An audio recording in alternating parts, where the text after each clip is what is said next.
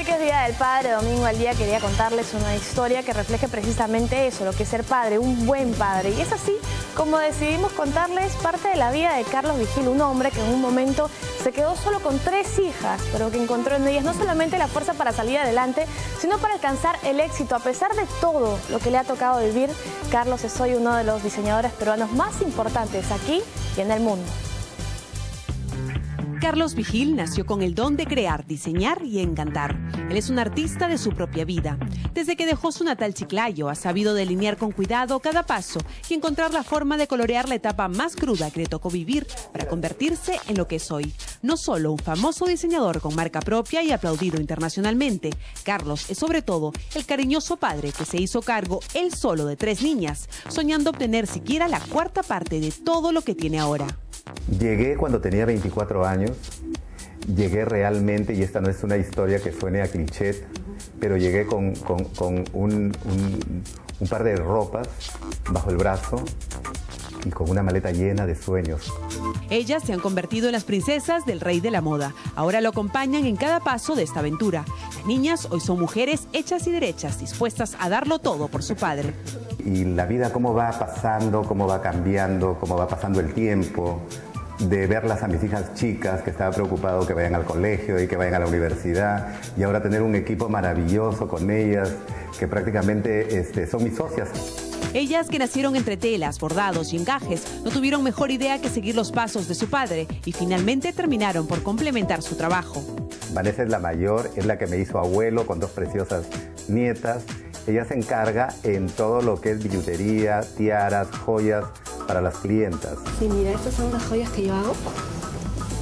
Como puedes ver, son hechas en hilos de plata, en Swarovskis, en strases y todo es depende de la, del vestido de la novia. ¿no? Te voy a presentar, ella es Lisette, ella es mi segunda hija, ella es la que me ve toda la parte del taller de las citas, el control de, todo lo que es este el, flujo del dinero que entra, que sale. Dije, ¿qué puedo hacer eh, eh, adicional a lo que mi papá hace? Y que no choque con su trabajo, ¿no? En el tema de los vestidos. Y dije, bueno, zapatos y vanités. Y me puse a diseñar zapatos, a ver qué, qué, vestido le queda, qué, qué zapato, qué vanité. Ella es Cintia. Cintia. Cintia estudió diseño de modas, es una niña que desde muy chiquitita le gustó el diseño, le gustaba dibujar, agarrar retazos y, hacer travesuras con, las telas hasta en el colegio, ¿no? La vestía a las, a las amiguitas y eso. Mi papi para mí ha sido prácticamente como un padre y, una madre también, porque yo he estado con él, ¿no? Desde los siete años, exacto. Ha cumplido una función bastante, bastante compleja, bastante difícil, pero de verdad que, que lo ha sabido llevar súper bien. Yo estoy súper orgullosa y lo quiero mucho y ahora festejando el Día del Padre con él. Cintia tenía apenas seis años cuando llegó a Lima de la mano de su padre y sus dos hermanas. El panorama era incierto, pero la vida le depararía un camino digno de pasarelas internacionales la pasarela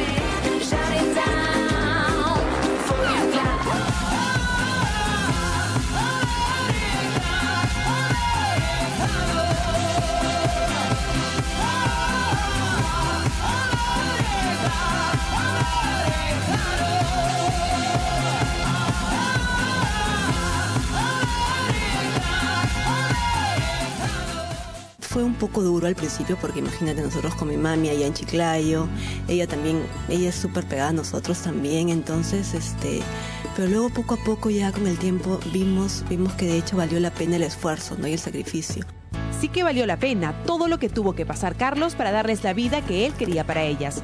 Sabía que cargando ladrillos en Chiclayo no iba a llegar muy lejos y que un diseñador en aquella época en provincia tampoco le auguraba mucho éxito.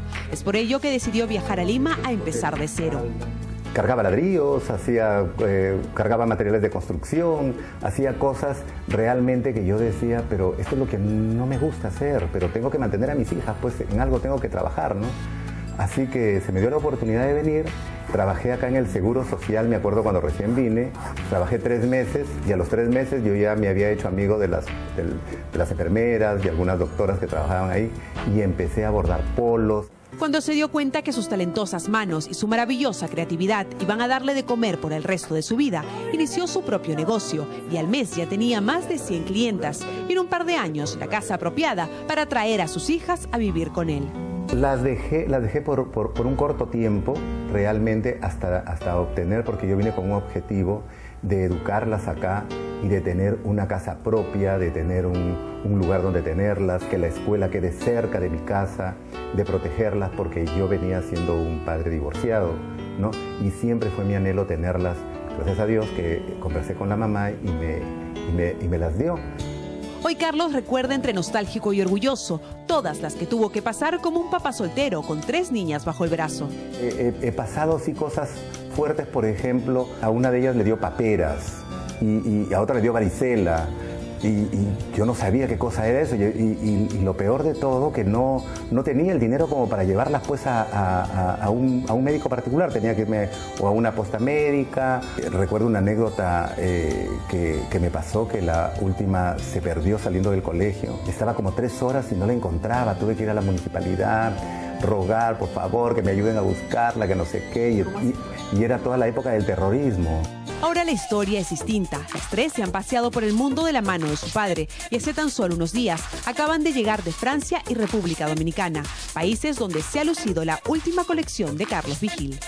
Esta colección se llama Follaje, como comprenderás, se ve el trabajo de las hiedras, de las plantas trepadoras hacia la pared y, la tela en sí es esta, esta tela plana ¿verdad? Y nosotros con la técnica de, la, de, la, tela cortada al 10 hemos tratado de sacar esto que quedó espectacularmente bello, que se ve realmente una enredadera. La tela viene así, la tela es plana. Exactamente. Igual, igual que en este vestido turquesa, la tela es esta, que hemos hecho unas bastas y estos, estos pedazos son retazos que nos quedan de, de la producción. Y otra cosa que te quería contar que es muy, muy importante son estas bastas. Todas estas bastas son puestas a mano una en una y el encaje ha sido recortado también por, por pedazos diminutos hasta armar este, este tipo de patrón. Estas son las joyas que se han exhibido por diferentes pasarelas del mundo y que llevan la historia de esfuerzo y superación de Carlos marcada en cada costura.